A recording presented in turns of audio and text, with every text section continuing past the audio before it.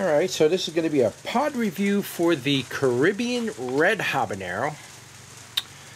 And I don't ever believe I've done a pod review on the Caribbean Red uh, since I started my channel, though I have been growing it for years. I think I did a slight review on it um, and put it on my other channel, but I don't actually think I have anything on this channel. So, let's get into it.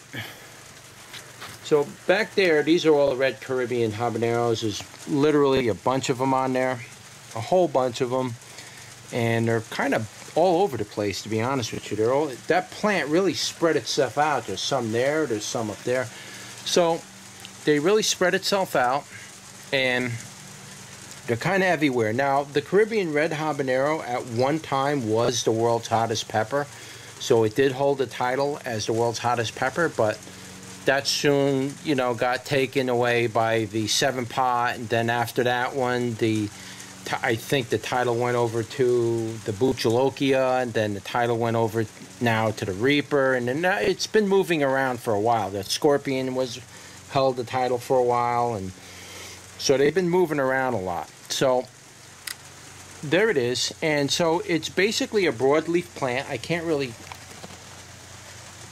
get too close to it but it's basically a broadleaf. It's smooth stem, no purpling in the stem, and I don't have any flowers coming off it.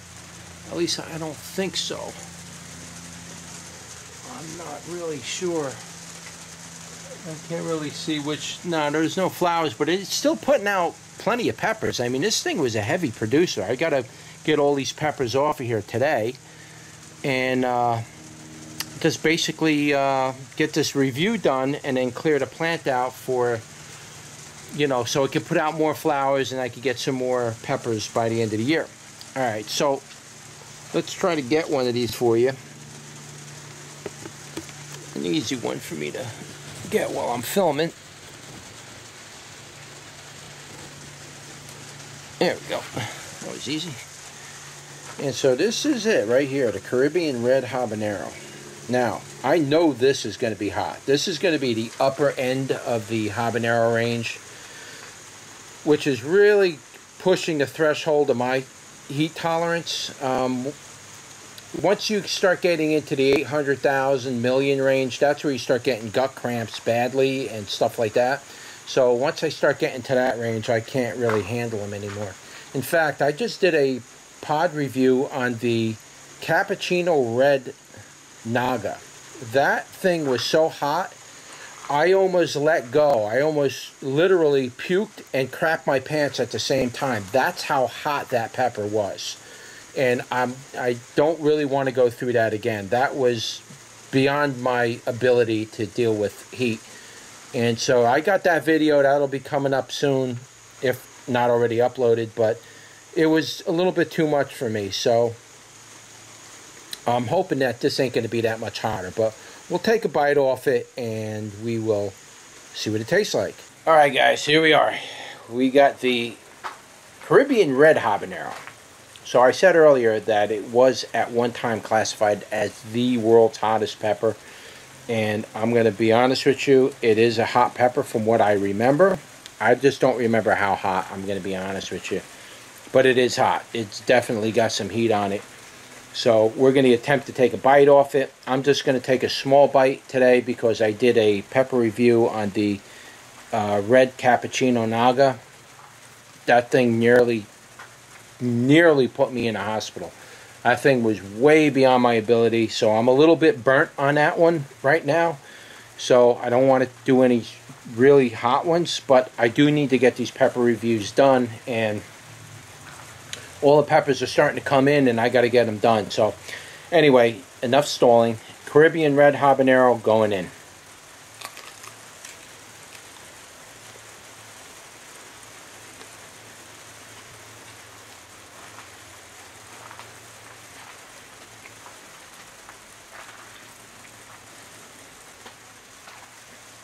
Still chewing it.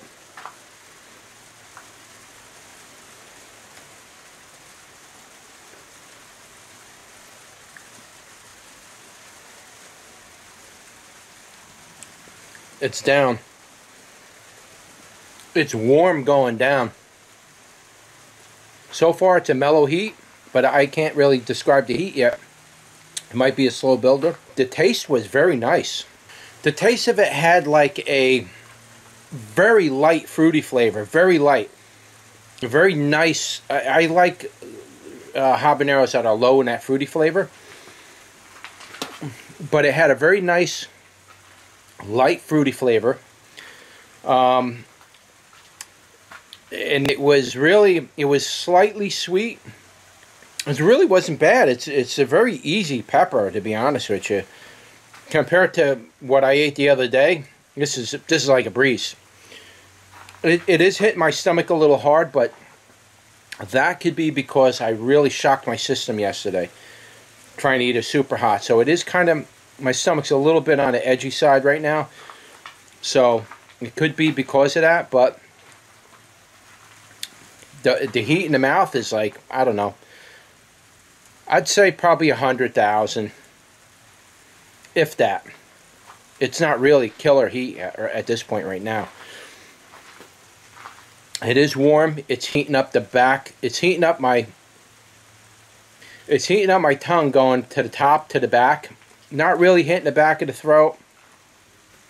Not hitting the roof of the mouth or nothing. Just the top of the tongue. It's not bad at all. Like I said, it's pretty easy to be honest with you. It it did hit my stomach a little bit hard, and like I said, that might be because I, I did a I did an extremely hot pepper yesterday, and it I almost threw up from it, and it it was so hard on my stomach. I was hurting on all ends from that thing. So because of that reason, um, I think my system's a little bit on edge right now. It's it's you know, it was just too hard of a, a, a I should have never done that. I mean, I took almost a whole pepper in, so should have never done that. I was stupid. But yeah, this is a really nice pepper. It's, in my opinion, it's not really that hot. I can't see how this was a record world record holder.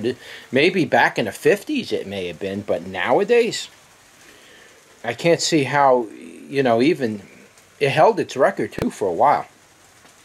Can't see how that was because there's so many other peppers that are so much hotter. I mean, this is really pretty easy to be honest with you, but it's a very nice, smooth, easy pepper.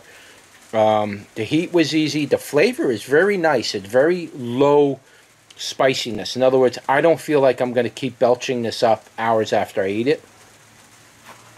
It's just basically smooth and easy, and and uh, flavor was nice. I, I could I could easily see putting this in a salad, no problem. Doesn't have that super fruity, spicy habanero repeat itself a million times type thing. It's it's like you eat it, you do your little thing, and it's gone. You know, no no repeating itself. But there is a little bit of heat on it. I am going to say that. Uh, it it I, I do feel it in my stomach a little bit. Not real bad, but I do feel it. Again, that could be because I did it super hot yesterday. That really hit my system hard. Maybe my stomach's a little bit on the edge from that. I would say that it's uh, it's definitely a go. This is a highly recommended pepper. I would say it's that flavor is very nice for a habanero. It almost doesn't even taste habanero-ish. I'll take another bite. the fruitiness is just so mild on this thing. It's not really that big of a, you know, it's not it's not a big strong fruity flavor that's just going to overwhelm you with fruitness. There was no soapy flavor with it, though I will say now that I'm coming up on the seeds, heat's picking up. There it comes. right up around those seeds but still, I, I would definitely say, you know, not. I wouldn't go for me. I wouldn't say over a hundred thousand Scovilles on that. I don't know. I, I can't really go any higher. At least with this particular pepper. Maybe some of the other peppers will get hotter. I don't know. But this one wasn't that bad at all. You could do this easily. Ah, that's it. That's it for your pepper review. I will offer seeds at the end of the year. Maybe November, December, I'll get working on my website and I'll start uploading the seeds. This may already be on my website, so if the if the uh, if you go to my website and you look at the peppers and you see the the Caribbean Red Habanero available, you'll be getting these seeds from the from this harvest. So you'll just get the latest seeds. So that's it. Like, share, and subscribe, and I'll see you on the next one.